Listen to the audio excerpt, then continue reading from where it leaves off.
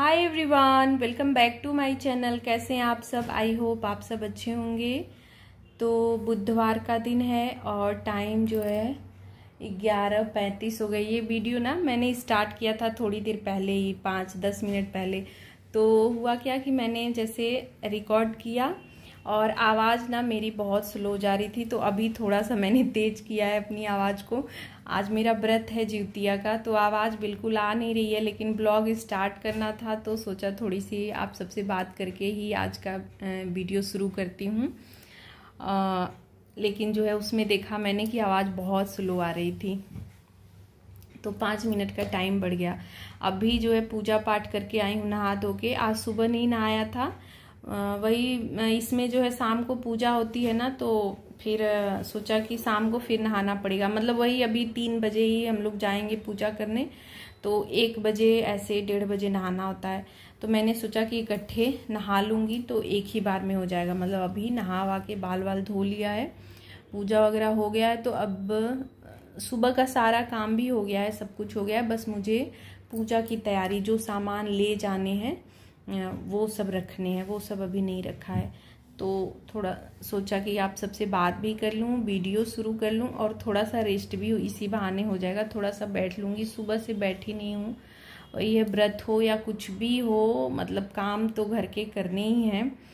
और सारा काम ही निपटा दिया है मैंने। बर्तन वगैरह, मंजू आंटी भी व्रत रहती हैं तो वो शाम को आएँगी नहीं। सुबह आई थी, जितना धोना था धो लिया और उसके बाद मैं मतलब मैंने जो भी था निकला हुआ, सब मैंने धो दिया है।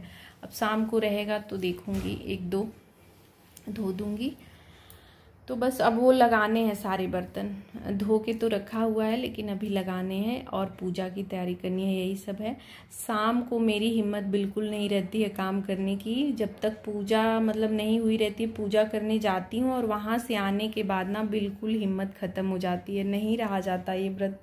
ये क्या मुझसे कोई भी ना, ये बिना पानी वाला व्रत नहीं रहा जाता है। ऐसे तो जो मतलब नवरात्रि हो गया या फिर ये प्रदोष में रहती हूँ तो उसमें उतनी दिक्कत नहीं होती है। लेकिन ये जो निर्जल व्रत रहना होता है ना, हालत ख़राब हो जाती है एकदम। तो और सब में तो मैं रात को ही पानी पी लेती हूँ, लेकिन आज जो है, कल पीना है, आज नहीं पीना है। तो ज़्यादा ही कंडीशन ख़राब हो जाएगी और व्रत के ना मतलब दो दिन बाद तक मुझे प्रॉब्लम होती, ही रहती है, जैसे बहुत ज़्यादा दिक्कत हो जाती है। लेकिन वही है, अब हमारे यहाँ का कल्चर है, परंपरा है तो रहना ही है। और मेरे घर में जैसे मम्मी है नहीं तो ये सारे व्रत मैंने बहुत पहले से ही, जैसे शादी के बाद तीज और करवा चौथ तो शुरू किया था और तन्मय के होने के तुरंत बाद जो है गणेश चतुर्थी और ये जीवतिया ये दोनों भी उठा लिया था। तो चलिए फिर अभी चलती हूँ, जो है, वही सामान पापा ले आने गए हैं, अभी आया भी नहीं है। तो ये सामान आ जाएगा तो उस सबको रखूँगी और बर्तन लगाऊँगी। ये दो काम करने हैं। उसके बाद वही टाइम धीरे धीरे अभी ये नेल पॉलिश वगैरह लगाने हैं और जो है पैरों में आलता ये सब काम करना है। तो इतने में ना दिन मतलब बीत जाता है यही सब तैयारी वगैरह करने में। आ, पूजा का टाइम हो जाता है। तो चलिए पहले बर्तन वगैरह रख लेती हूँ फिर आपसे जो है मिलती हूँ। तो बर्तन जो धुले हुए थे उनको लगाया, जो बाहर रखा हुआ था बास्केट में, अंदर वाला तो छोड़ दिया है। थोड़ी सी ना मतलब थकान जैसे होने लगता है। तो वही धीरे धीरे करके ही काम करती हूँ इस तरह व्रत में। और सामान आने में थोड़ा सा भी टाइम था मतलब पापा को अभी नहीं आए थे तो मैंने सोचा ये सब काम ही निपटा लेती हूँ। क्योंकि जाने का भी ना बाद में हुआ कि मतलब वही मैंने आप सबसे बात की, उसके बाद ही एक लोग आई गाँव में से तो वो बोली कि जाना जल्दी है, पाँच बजे के बाद शायद नौमी लग जाएगी। मतलब ये अष्टमी में पूजा होता है तो पाँच बजे के बाद ही नौमी लग जाएगी तो जल्दी जाके ही पूजा करना है। तो मैंने सोचा कि तैयार वगैरह हुई रहती हूँ, फिर जब सब लोग जाएँगे तो बस मुझे जाना रहेगा। तो बस यहाँ पे आलता लगा लिया है पैरों में और नेल पॉलिश वगैरह ये सब काम कर लिया। फिर उसके बाद सामान भी आ गया तो सारे फल वगैरह धो के सब मैंने थाली में लगा दी है। और यहाँ पे ये जूतियाँ मैं आप सबको दिखा रही हूँ बहुत ढेर सारा है। करीब जो है ना सत्रह अठारह जो मैंने गिना तो नहीं गिनती से आ, लेकिन सत्रह अठारह ऐसे करके पिछले साल गिना था क्योंकि पिछले साल हम लोग ने घर पे पूजा नहीं की थी। यहाँ पे मतलब हम लोग के परिवार में वो पड़ गया था मतलब शोक था। तो इस वजह से पूजा नहीं हुआ तो दूसरे को मैंने दिया था। तो उस टाइम जो है, गिन के पूरा दिया था जो है। तो अभी याद आ रहा है मुझे कि सत्रह, अठारह, इस तरह बहुत ज़्यादा है। मतलब ना, मम्मी का और मेरी जो दादी सास हैं, उनका मतलब दादी सास जो थी और सबका जो है ना इसी में है और अभी तक मतलब निकाला नहीं है कुछ भी। तो जैसे था मम्मी जैसे रहती थी, बस मैं भी वैसे ही सब करती हूँ। बस मैंने जो है अपने तन्मय का और जो है मेरी देवरानी का बेटा है, उसका दोनों लोग का नया बनवाया है, बाकी और जो पहले का था सब ऐसे ही है। तो इसको ना मतलब धागे में, पिरोने में ना बहुत टाइम लग जाता है, पूरा निकाल के धोना, फिर छोटे, बड़े कई साइज़ के हैं तो सबको जो है वो करके धो के अच्छे से पानी में फिर जो है, नए वाले धागे में पिरोना होता है। तो पुराना वाला भी वहीं पे जाता है चढ़ा दिया जाता है और नया वाला चढ़ा के फिर वापस आ जाता है घर पे। आज का वीडियो ना थोड़ा सा लंबा हो गया है आ, मतलब मैंने काफ़ी स्किप भी किया है लेकिन वही होता है कि जो ज़रूरी चीज़ें हैं वो दिखानी होती हैं हम लोग के यहाँ कैसे पूजा होता है हर जगह का अलग अलग रीति रिवाज होता है तो वही मैं सोच रही थी कि आप सब मतलब थोड़ा सा मतलब देख लें, अच्छे से समझ में आ जाए कि कैसे कैसे हम लोग की तरफ़ किस तरह से पूजा की जाती है।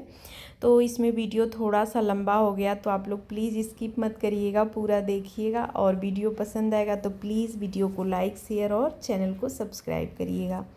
तो बस यहाँ पे सारा सामान मैंने रख लिया है। ऊपर से एक साड़ी भी नई चढ़ाई जाती है तो वो रखा है और पूरा ढक दिया, अच्छे से रख दिया कि बस अब जाना रहेगा। और यहाँ पे आके मैंने चेंज कर ली है, साड़ी पहन ली और चूड़िया वगैरह बहुत सिंपल सा मेकअप वैसे भी मैं बहुत ज़्यादा करती नहीं हूँ और इसमें भी मतलब बहुत ज़्यादा कुछ नहीं किया है और व्रत की वजह से ना वैसे ही मतलब एकदम डाउन सा एनर्जी जो है ना अब जैसे जैसे शाम होता जाएगा ना बिल्कुल ही मतलब एनर्जी ख़त्म होती जाती है। तो बस वही मैं देख रही थी और थोड़ा सा गाँव में जाना होता है मतलब ना वहाँ गाँव की सारी औरतें रहती हैं तो थोड़ा सा ठीक ठाक रहना भी ज़रूरी है। तो बस मैं देखिए, मेरा चेहरा कितना उतरा हुआ लग रहा है। तो यहाँ पे ओढ़ के पूरा जो है, पल्लू वगैरह, अभी मैं रेडी हो गई हूँ बस जाने के लिए वहाँ पे। तो कैसी लग रही हूँ, आप सब कमेंट करके ज़रूर बताइएगा। तो बस हम लोग आ गए हैं यहाँ पे। तो ये ना, वो है प्राइमरी स्कूल है हम लोगों के गाँव का। तो यहीं पे पूजा ये होती है। और देखिए काफ़ी सारी औरतें दो जगह होती है मतलब यहाँ पे भी होता है और एक मंदिर है माता रानी का, वहाँ होता है। तो मैं शुरू से ही ना, जब से मैं पूजा करी हूँ, मेरी मम्मी भी यहीं पे आती थी तो इस वजह से मैं वहाँ पे नहीं जाती हूँ। बहुत लोग बोलते हैं, जैसे मेरे आसपास की भाभी लोग भी कई हैं जो वहाँ पे जाती हैं तो वो लोग बोलती हैं कि तुम भी वहीं पे चलो। लेकिन मैं नहीं जाती कि मम्मी ने शुरू, यहाँ से ही मम्मी ने मतलब पूजा मैं, मम्मी भी यहीं पे करती थी तो मैं भी यहीं से करूँ। साल में एक बार ही तो आना होता है और एक दो घंटे का यहाँ मतलब टाइम देना होता है बस तो कहीं भी जहाँ जैसे शुरू से हो रहा है वहीं किया जाए तो सही है। तो बस देखिए बहुत सारी भीड़ है तो मैंने भी मतलब पूजा कर ली है, खड़ा होके मतलब शुरू में ही मैं जल्दी ही आ जाती हूँ, क्योंकि ना फिर जगह नहीं मिलता है ना तो बड़ी दिक्कत हो जाती है। फिर पीछे बैठ के पूजा करना थोड़ा सा मुश्किल हो जाता है। तो वही पूजा भी हो रही थी, उसी में बातचीत और कहानी भी होती है चार पाँच तो वो सब करने के बाद फिर मैं घर आई, काफ़ी टाइम हो गया। और घर आने के बाद ना तुरंत जो है मतलब मैं लेट ही गई, थोड़ा बहुत वही सुबह के लिए तैयारी की। और उसके बाद ना खाना वगैरह इन्होंने ही बनाया। आटा वगैरह गूँथ के दे दिया था खाना इन्होंने ही बनाया, मैं सो गई। अभी सुबह का टाइम है तो नहाना धोना साफ़ सफ़ाई मतलब घर की हो गई है और यहाँ पे अभी मैं पानी पी रही हूँ। तो टाइम करीब जो है ना पौने सात बजे, पानी सात बजे से पहले पीना था तो वही पौने सात बजे पी रही हूँ पानी। और यहाँ पे अभी हो गई है पापा की तैयारी।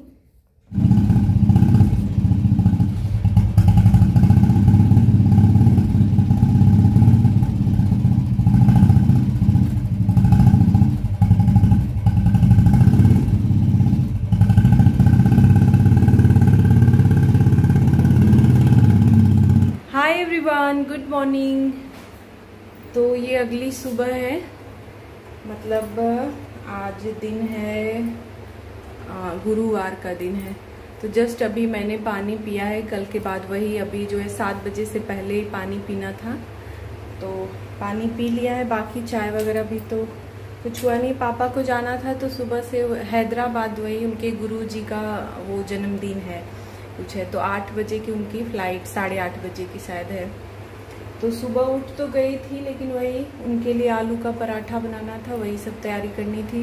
तो मैं तो नहा धो के पूजा करने में लग गई, सिर्फ़ आलू मैंने उबाल दिया था और आटा लगा दिया था। बाकी इन्होंने बनाया है और किचन की हालत देखिए कैसी हो रखी है। वही है, हमारा हाथ अगर ना होना तो फिर किचन इसी तरह से हो जाता है। इधर का भी देखिए। तो बहुत गड़बड़ हालत है तो अभी मुझे ना पूजा करनी है, वो मम्मी के लिए मतलब वो होता है ना नौमी श्राद्ध, वो वाला पूजा होना है तो उसके लिए भी खाना बनाना तो पूरा किचन साफ़ करूँगी और उसके बाद जो है वो दाल वाली पूड़ी बनती है तो वो सब बनाऊँगी। अभी तन्मय के लिए चाय गर्म कर रही हूँ, दे देती हूँ और मैं भी चाय एक कप पी लूँगी, उसके बाद ही जो है ना फिर काम स्टार्ट होंगे। तो तन्मय को चाय देने के बाद तुरंत जो है मैंने चाय अभी नहीं पी। पानी फिर से एक गिलास पिया। पानी का ना जैसे वो लगा हुआ है, होता है ना कि जैसे तास हो जाता है, उस तरह का हुआ है। बहुत ज़्यादा वीकनेस सुबह।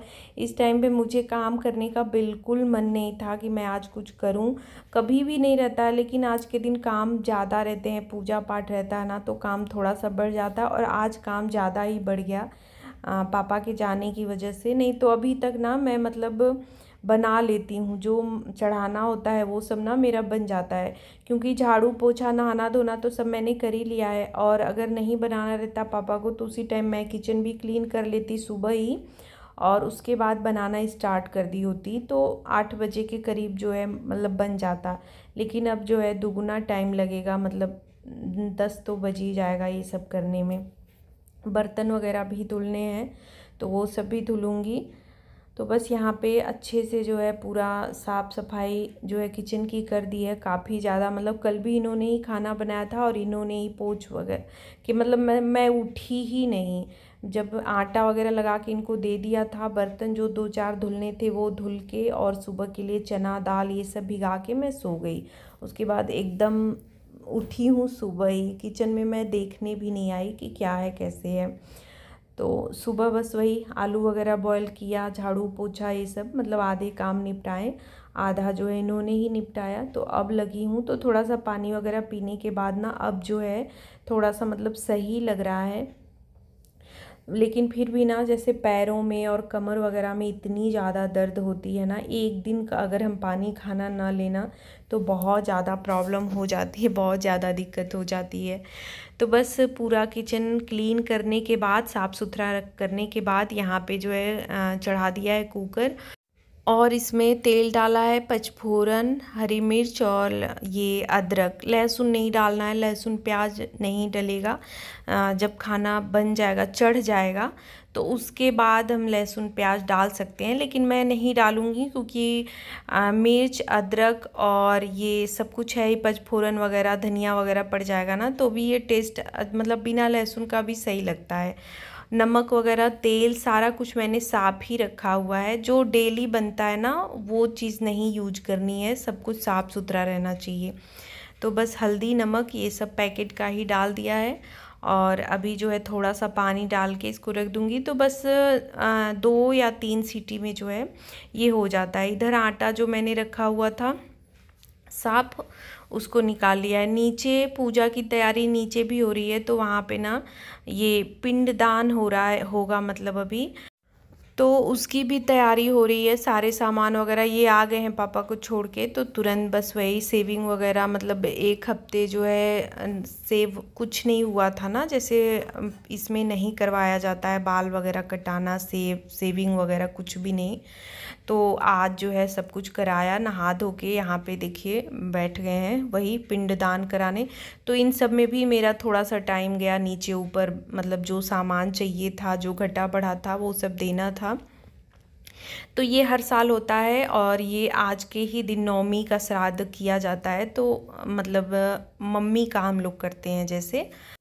आज के बाद ना फिर हमारा इस पितृ पक्ष में मतलब श्राद्ध के दिनों में मतलब कोई वो नहीं रहता। आज ख़त्म हो जाता है सब कुछ। तो बस यहाँ पे खीर भी चढ़ा दी है मैंने। आ, हो भी गया है लगभग बस थोड़ा सा टाइम है। लास्ट में यहाँ पे आ, थोड़े से काजू बादाम कट किए थे वो डाल दे रही हूँ। चीनी वगैरह सब कुछ डाल दिया है और आटा वगैरह भी लगा लिया है तो बस यहाँ पे पूड़ियाँ भी तल ले रही हूँ। तो अभी ना सिर्फ़ जो है चढ़ाने के लिए ही बना रही हूँ। चढ़ा के आऊँगी उसके बाद फिर जो है बनाऊँगी अच्छे से इत्मीनान से। अभी ये रहता है ना कि बिल्कुल साफ़ सुथरा रखना है, बिल्कुल जूठा वगैरह कुछ नहीं करना है तो थोड़ा सा रहता है कि चढ़ जाएगा तो सही है। तो बस छोटी छोटी पूड़ियाँ ही तली हैं, क्योंकि इसको ना जो है कौवे को और गाय को, फिर कुत्ते को ऐसे खिलाया जाता है। तो यहाँ से ना जो कौवे मतलब उठा लेते हैं, उठा लेते हैं, बाकी जो बचा रहता है तो फिर गाय वगैरह को डाल दिया जाता है। तो बस आ गई हूँ छत पे यहाँ पे पूड़ी और खीर लेके और पानी ले लिया है। तो यही परंपराएँ ना हमें अपनों से जोड़ती हैं, अपनों को अपनों से जोड़ती हैं और संस्कार भी आते हैं। जैसे मेरा बेटा भी ना पूछता रहता है, आप लोग क्या कर रहे हैं? किसके लिए कर रहे हैं? तो फिर वही बताया जाता है कि दादी के लिए किया जा रहा है। तो एक होता है ना कि उसको भी रहता है कि हाँ मम्मी पापा जैसे दादी के लिए ऐसा कर रहे हैं। तो मतलब एक अलग सा ही आता है जो है और इससे संस्कार बच्चों में भी आते हैं, जो बच्चे देखते हैं देखिए वही सीखते हैं। तो ये सब चीज़ें ना मतलब बहुत मायने रखती हैं। थोड़ा सा मेहनत तो लगता है, करने में टाइम देना पड़ता है, लेकिन जो है इन सब चीज़ों से ना बहुत फ़ायदा भी मिलता है। बहुत सारी चीज़ें सीखने को मिलती है और मन को सुकून भी बहुत मिलता है। तो बस वही पूजा पाठ करने के बाद जो है फिर से मैंने चाय अपने लिए बनाई। ये निकल गए हैं, इनके लिए एक्स्ट्रा पूड़ी मैंने छान दी थी तो बस दो पूड़ी खा के निकल गए कि आऊँगा, बाद में खाऊँगा।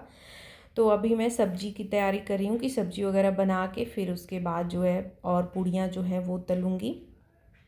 तो ये कद्दू और आलू की सब्ज़ी बनेगी। तन्मय के लिए वही आलू जो बचा हुआ था, सुबह पराठा बना था ना, उसका आलू बचा था तो वो पराठा मैंने बना के दे दिया है।